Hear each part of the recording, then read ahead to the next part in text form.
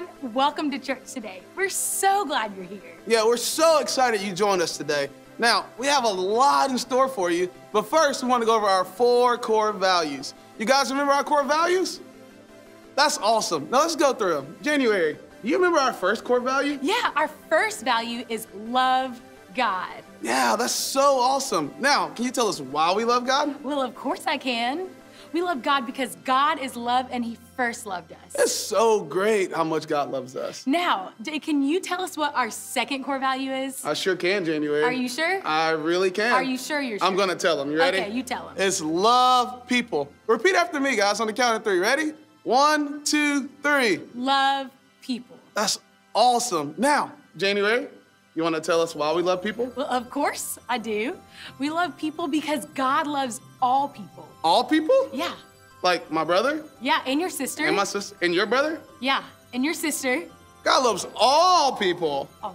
That's amazing. Now, do you remember our third core value? Ooh, ooh. Our third core value is probably one of my favorites. So our third core value is do your best. Yes. Did you do your best when you said that? I, I definitely did. That's awesome. And I know why you did your best. Tell me why I did my best. Because when you do your best, you know that God does the rest. you are so right. Yes. Awesome. Now, you want to get into our fourth core value? So our fourth core value is again one of my favorites. It's have fun. Ooh, I love to have fun. Do you like to have fun? Having fun is fun. You want to repeat after us on the count of three? Ready? One, two, three. Have, Have fun. fun. Everybody loves to have some fun. Now, you want to know what happens when we have fun and why do we have fun? Because God gives us joy. So much joy. Isn't that so awesome? Yes. So we get to show that joy by worshiping. So Ooh. let's get up on your feet and guys, let's worship together. You ready? Let's do it. Let's do it. All right, everybody, let's stand up and worship. Come on, let's sing. He's the chosen one, he's the champion,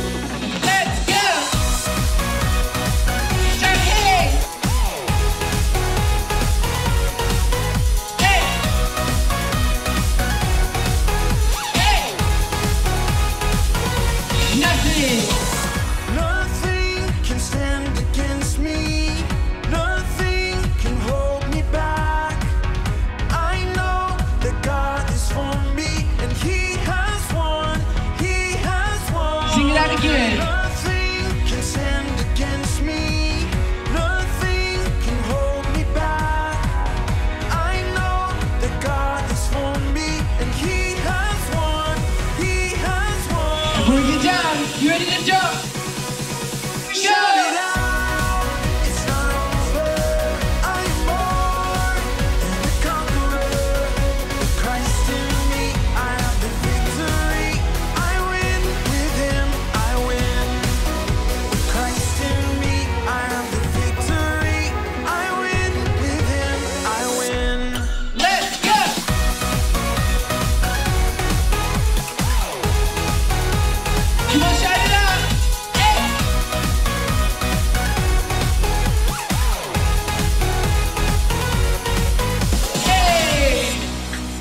Job. All right, everybody, let's continue to worship. Let's raise that energy level. This is one of my favorite songs. It's called Joy. Now let's put those hands together.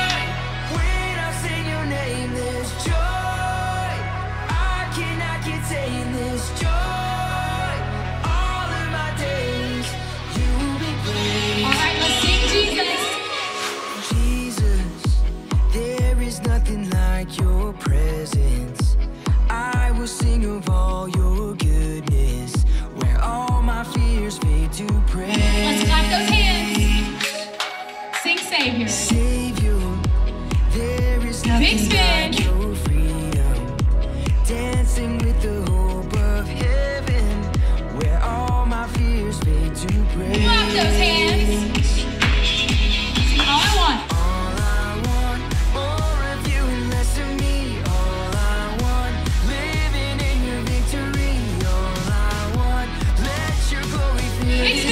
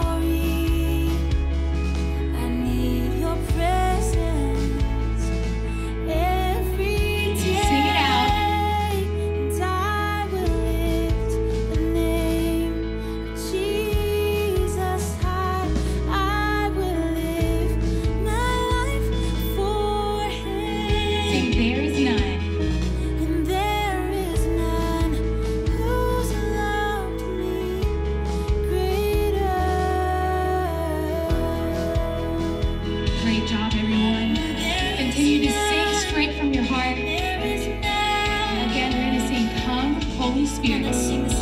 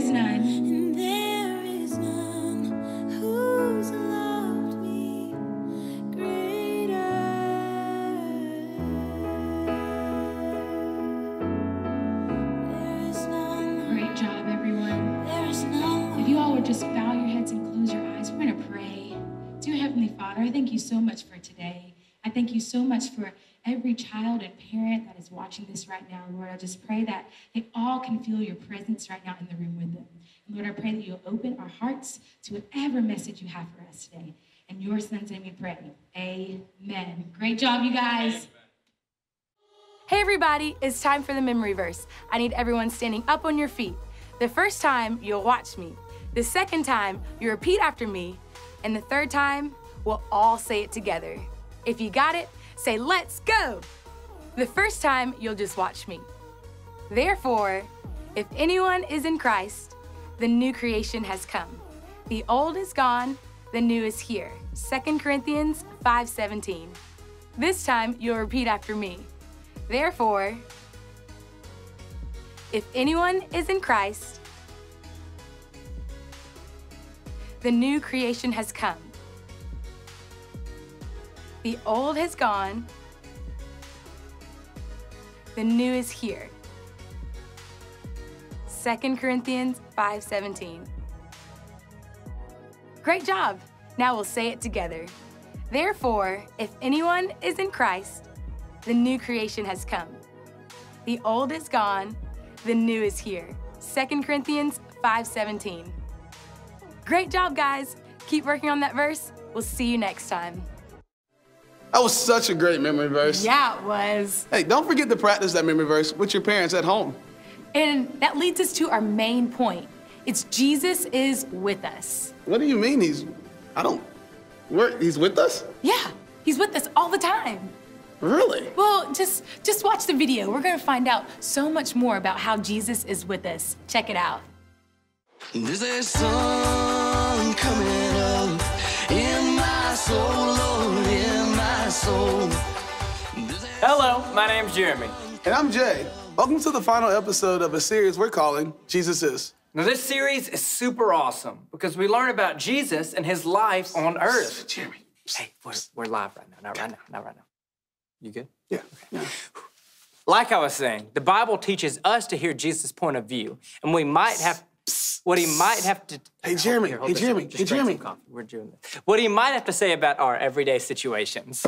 Hey, J- J- Jeremy. Yeah. Okay. I, I need to talk to you. So today's main point is Jesus is with.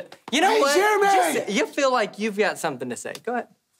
Thank you. Yeah. Well, while you were talking, I remember the story I've been meaning to tell you. Yeah? And I promise you it won't take long. And we can get right back to the show as soon as I tell you, okay? Why not? Let me hear it. What happened?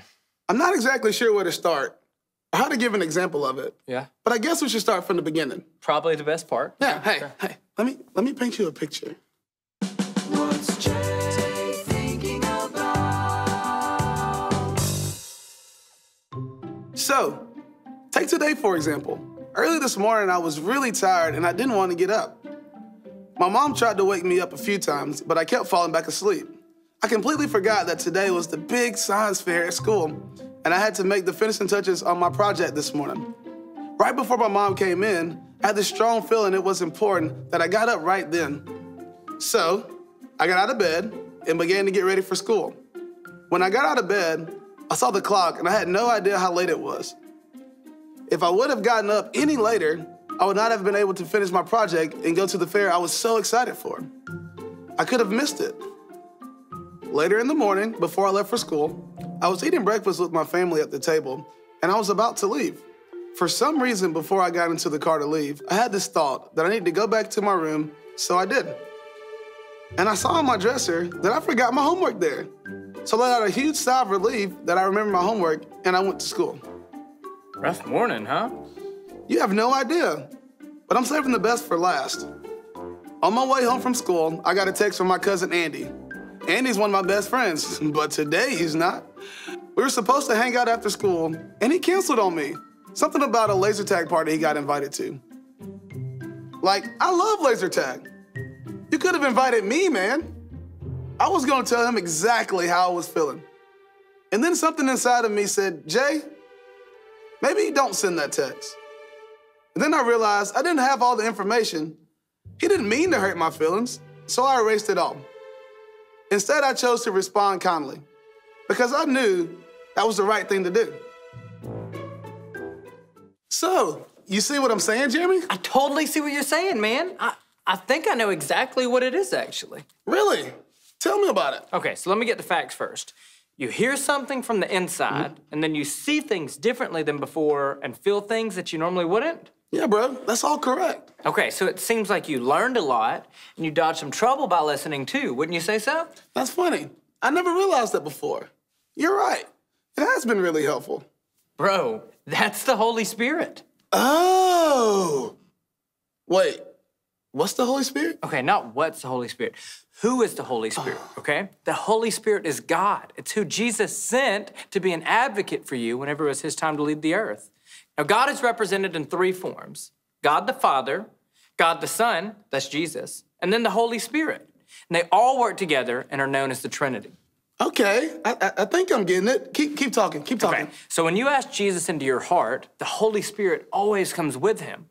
The Bible tells us that the Holy Spirit is our comforter while we're here on earth. You know, man, this is starting to make a whole lot of sense, Jeremy. How'd you learn all this? Bro, just by reading my Bible. John 14, 26 tells us all about it. Let me read to you what Jesus said to his disciples. But the advocate, the Holy Spirit, whom the Father will send in my name, will teach you all things and will remind you of everything that I've said to you. So, I think I get it now. The Holy Spirit and Jesus work together.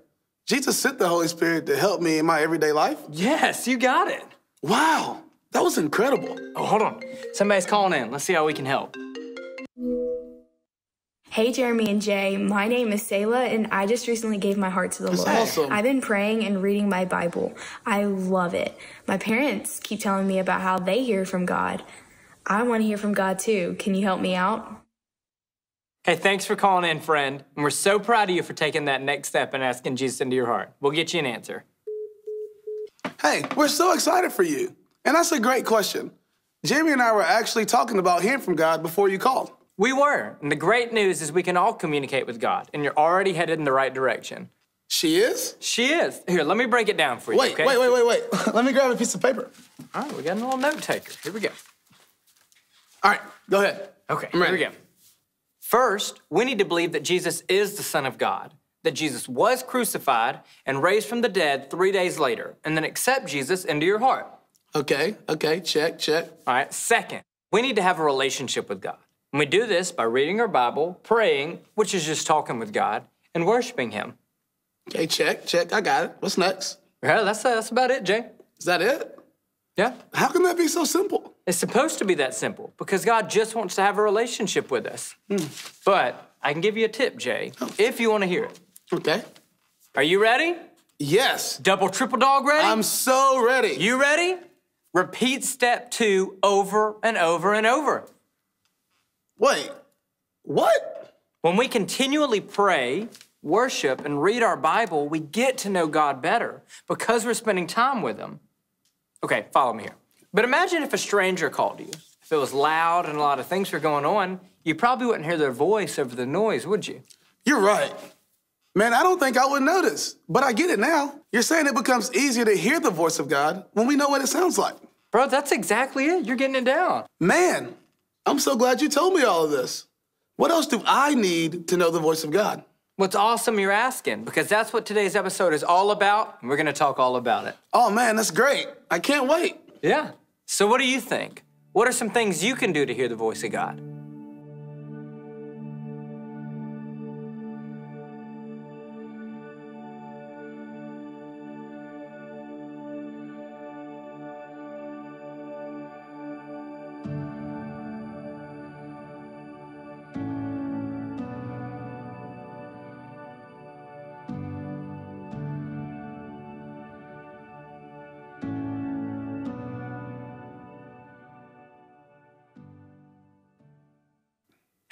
Welcome back.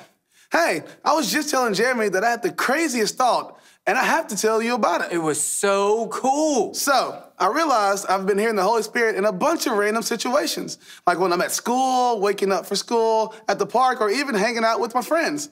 All these times I've heard his voice, I've just been living life, hanging out, you know, nothing crazy. So, tell him what you realized. Oh, yeah, God is always with me. He's talking to me all the time. If he's a part of my good days, guess what? He can be a part of my bad days as mm-hmm. well. I can talk to him all the time and get advice and help through the voice of the Holy Spirit. That's such a good point. I'm gonna have to try that too. Literally, so cool, man. It reminds me a lot of our main point. Jesus is with us. So, speaking of our main point, do you want to hear a story about how Jesus is with us? Yeah, man, let's do it. Awesome. Let's check it out. After his resurrection, for the next 40 days, Jesus appeared to his disciples and many others and showed them that he was alive and well. He taught them that dying on the cross and being raised back to life was the only way that they could be forgiven and be with God forever. For God so loved the world that he gave his one and only Son, so that everyone who believes in him will not perish but have eternal life. With all of them gathered at the Mount of Olives, he told the disciples to wait and stay in Jerusalem until they would receive a special kind of power, the Holy Spirit, so that they could act as witnesses to the whole world about the great things he did while on earth. Then, right before their eyes, Jesus was taken up just as he had promised, and a cloud hid him from their sight. After witnessing Jesus' ascension into heaven, the disciples walked back to Jerusalem and they gathered in an upstairs room where they were staying. While they were patiently waiting for God's gift of the Holy Spirit, they were constantly praying with each other and obeyed Jesus' instruction.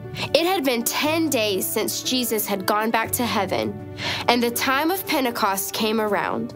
The day of Pentecost is an ancient Israelite festival celebrated during early summer where thousands and thousands of Jews had traveled back to Jerusalem from all over the world. It is a time where God's people brought gifts and offerings to God. On that day, the disciples were still together in the house. Then suddenly, they heard a sound from heaven. It sounded like a strong wind blowing, and the room where they were sitting in was filled with it. With the strong wind that came, they also saw fire, which split into tongues of flames hovering over each of their heads. Something amazing had happened. God kept his promise and sent his gift, filling the disciples with the Holy Spirit. God used the image of fire to symbolize his presence with each of them. Back in the Old Testament, God showed up in a similar way at Mount Sinai, where he made a covenant with Moses and Israel, giving them the Ten Commandments. Later, God's glory came in a pillar of fire that filled the temple's tabernacle when he came to live among his people. So now, God's very own presence, his spirit, had come to live in the new temple of Jesus' body, which is us, his people. As the disciples received the gift of the Holy Spirit, they began to speak in languages they had not known before, but God gave them the ability to do this.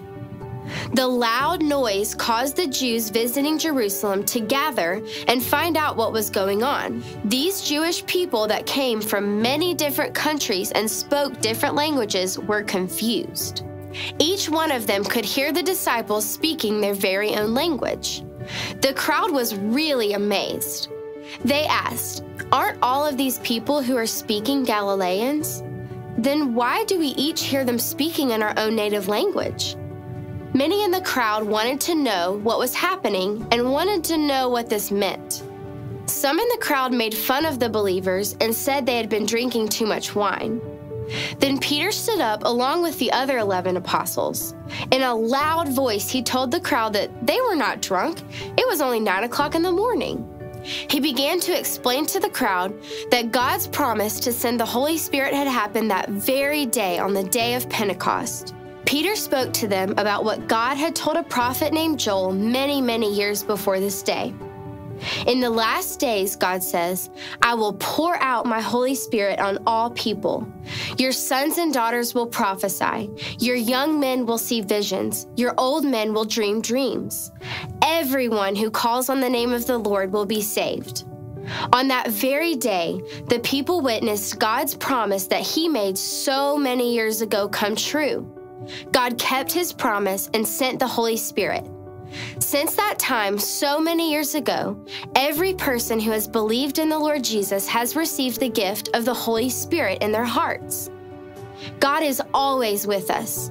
We may not see flames of fire resting on our heads or hear loud wind noises, but we do receive the power of the Holy Spirit to enable us to live like Jesus.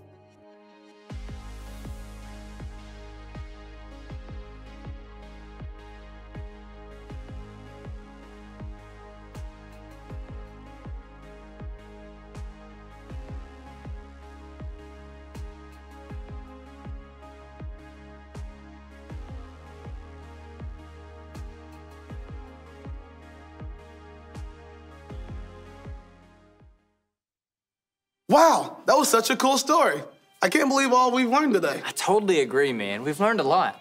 I think for me, though, there's probably three things that stuck out the most. What about you? You know, me too. I think I know the three things you're talking about. Okay, take the first one. The first one is I can be a friend of Jesus. Right. Jesus sent his Holy Spirit to be a comforter and a friend. God cares so much about us, and he wants to be in constant relationship with us. You know, he sent the Holy Spirit to serve as a reminder that he is always with us. I love the second point, too, which is I can talk to Jesus. He wants to be by our side through the good and the bad. He died for us so that we can be in relationship with Him. And finally, today's third and final point is that I can live a better life with Jesus on my side. That's right. God, Jesus, and the Holy Spirit walk with us daily, Yeah. comforting us, teaching us, guiding us, and protecting us from all harm. God wants the best for us, and He wants to be our best friend. So don't forget, Jesus sent his Holy Spirit to be our friend. The more I get to know Jesus, the easier it will be to hear his voice. And I can live a better life with the Trinity on my side. Bro, you got it. I'm so proud of you. Yeah, I really feel like I do. Thanks for all the help today, bud. Anytime, man. So thank you so much for hanging out with us this week on Jesus Is. We'll catch you next time. Wow, that was a great video. It sounds like you learned a lot today, Jay. I learned a whole lot. I had so much fun learning about the Holy Spirit. You see, Jesus left his Holy Spirit to us to be our comforter and to be our advocate. And he lives inside of us and he talks to us and he guides us and he shepherds us through all the things of life. And when we're having good days and bad days, the Holy Spirit always speaks to us. And it's just amazing because he wants to be our best friend. And just how Jeremy was saying, the way we receive the Holy Spirit is by being in relationship with Jesus. And if you haven't asked Jesus to be your best friend, today is the perfect day to do that. That's awesome. There's gonna be a prayer on the screen as soon as this video is over that you can pray with your friends, your family, or anyone else that's around. And this is your very first time praying that prayer, we wanna celebrate you. So please, please, please tell your parents. Now, we had such a great time learning with you today. We'll see you next time.